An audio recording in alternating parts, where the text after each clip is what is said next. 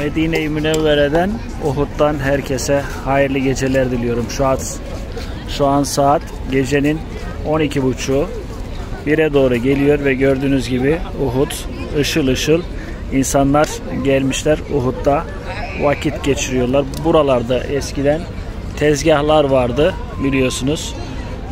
Ee, seyyar tezgahlar vardı. Onlar kaldırıldı ve bu şekilde küçük küçük dükkanlar oluşturuldu. Burada alışveriş merkezleri oluşturuldu. Yine çocukların vazgeçilmezi elektronik kaykaylar. Ee, bunlar akülü. Türkiye'de yok bunlardan ama burada var. 10 riyal 15 dakikalık bine biliyorsunuz. 90 TL civarı 15 dakika akülü arabalar yine var. Evet buralara küçük oturma grupları yapılmış.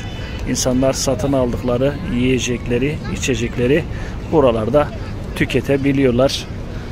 Gördüğünüz üzere Uhud'da gece manzarası bir başka karşımızda da yeni yapılan Uhud'daki mescit. Evet, piknik yapan insanlar var.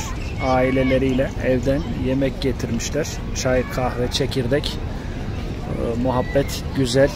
Uhud'da bu manevi atmosferde insanlar ailelerle vakit geçirmenin hazzını, lezzetini de yaşıyorlar. Şöyle geniş açıdan sizlere Uhud manzarasını izlettirmiş olalım. Bakın dükkanlar boylu boyunca uzanıyor. Kıble tarafında Uhud'un hemen arka planda da şöyle Okçular Tepesi'ni görüyoruz. Okçular Tepesi yine boş değil. Az da olsa üzerinde insan var. Evet. Oturma gruplarında da hakeza boş yer yok. Herkes kendine bir yer edinmiş. Oturuyorlar. Ailesiyle oturanlar var. Müstakil olarak oturanlar var.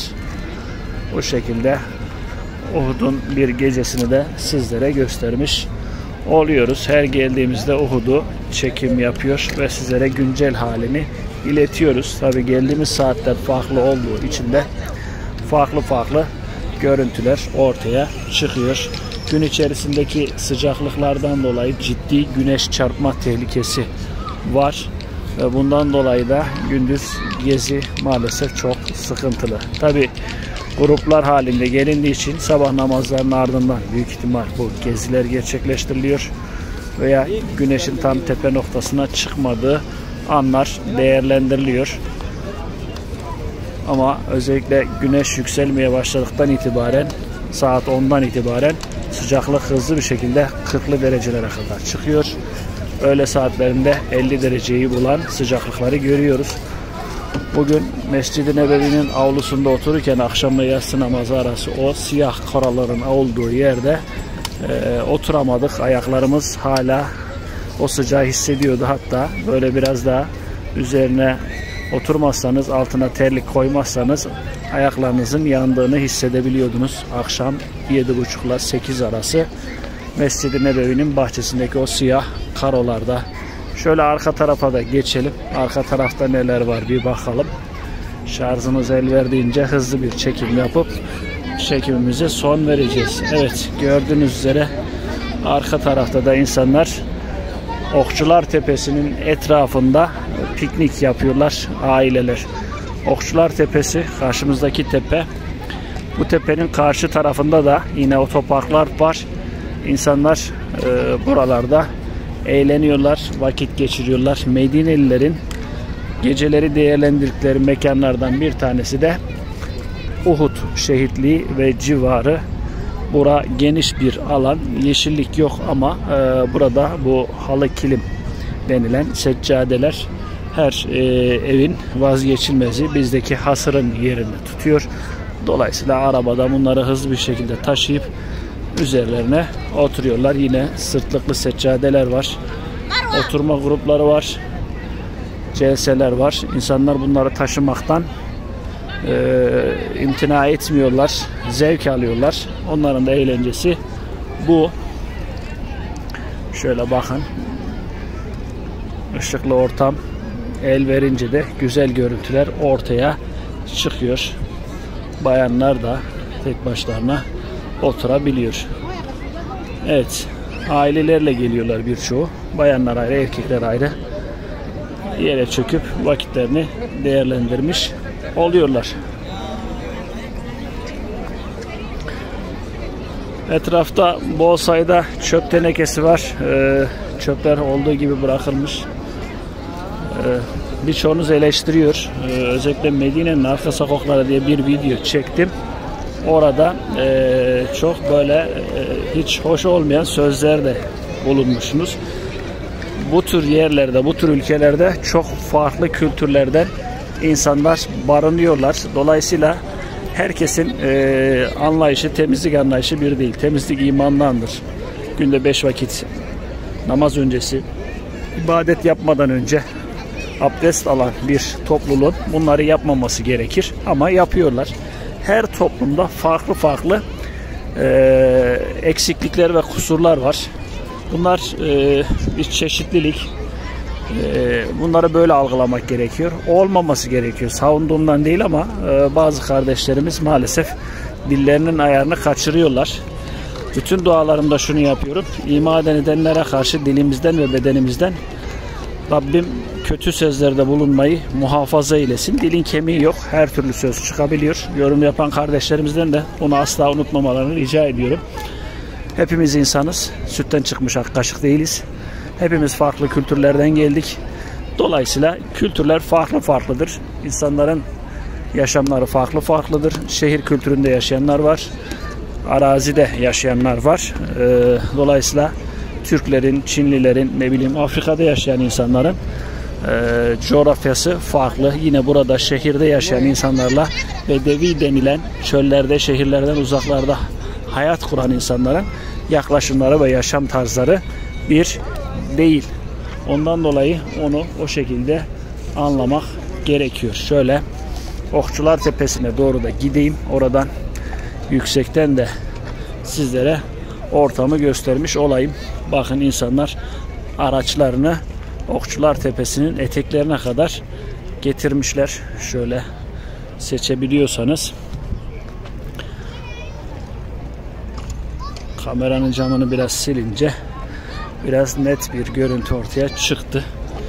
Evet burada gruplar halinde gelen yabancılar da var. Şöyle geldiğim nokta orası. Karşıda yine hacı grupları var. Okçular Tepesi'nin bulunduğu alanda bakın orada oturuyor insanlar. Gelen grupları bilgilendiriyorlar hac kafilelerini ve arka tarafı da görüyorsunuz. Arka tarafta da yeşil alanlar oluşturulmuş. Bakın araçları park etmişler. İnsanlar farklı yerlerde vaktini geçiriyorlar. Şu an dereceyi de size göstereyim. Gece 1 35.8 diyor. 12.53 saat.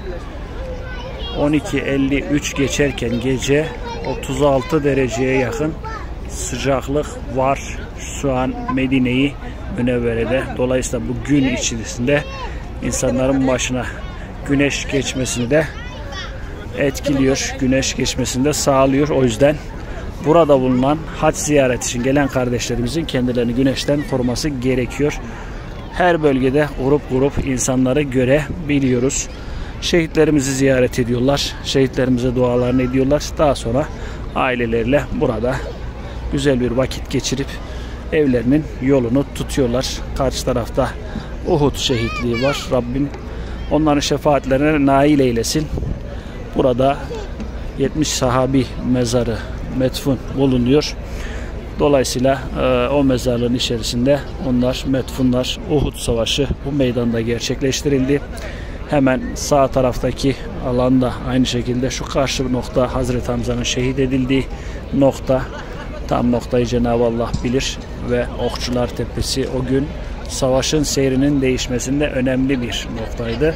Peygamber Efendimiz özellikle emretmişti. Yerlerinden ayrılmamalarını istemişti. Ama okçular maalesef benliklerine yenik düştüler ve yerlerini terk ettiler. Onların yerlerini terk ettiğini gören Halid bin Velid İslam'a da çok iyi hizmetlere geçmiş Müslüman olduktan sonra şu karşı bölgeden arka taraftan dolanarak Müslüman ordusunu iki ateş arasında bırakmış ve o gün Müslümanlar acı bir yenilgiyi tatmışlardı. Bunda tabi çıkarmaları gereken dersleri vardı. O gün bu dersleri de çıkarmışlardı.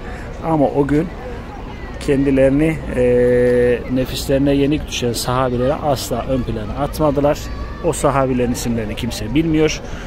Onlara sahip çıktılar. Yenilgiyi hep birlikte kabul ettiler. Peygamber Efendimiz yüzünden yaralandı. Dişi kırıldı. Karşı tarafta şu an karanlık ama geçenlerde çekimini yapmıştım. Kanala yüklemiştim. Uhud Dağı'nın eteklerine çekilmişti Peygamberimiz. Hazreti Fatıma Peygamber Efendimizin orada yüzündeki yaraları, bereleri temizlemiş ve e, Peygamber Efendimiz orada küçük bir kaya oyuğuna sığınmıştı. Müslümanlar da etrafına birikmişti. Evet, Uhud o günleri bize yad ettiriyor. Dolayısıyla bu anıları burada yad ediyoruz. Peygamber Efendimiz Tebük gazvesi dönüşü Uhud'u ziyaret etmiş. Uhud bizi sever, biz de Uhud'u sever, severiz demiştir ve Uhud'un ziyaret edilmesini istemiştir. Bizler de işte onun aziz hatırası adına Uhud şehitlerimizi Medine-i Münevvere'ye geldiğimizde mutlaka ziyaret ediyor. Onlara dualarımızı iletiyoruz. Rabbimden onların bizlere şefaat etmesini talep ediyoruz. Tabii ki şefaat yetkisini verecek olan yine Cenab-ı Allah'tır. O kimseye izin vermeden kimse onun katında şefaat edemez. Ayetel Kürsi diye bildiğimiz Bakara suresindeki ayet-i kerimelerde bu yer alıyor. Men zellezî yeşfa'u innehu illâ bi iznih. Dolayısıyla bu ayet-i kerime bunu ifade ediyor. Burada videomuza son verelim. Telefonda alarm veriyor. E, kapanmak üzere. Bir başka videoda Medine-i Münevvere'den, Mekke-i Mükerreme'den görüşmek üzere. Hepinizi Allah'a emanet ediyorum. Kalın sağlıcakla. Hayırlı geceler.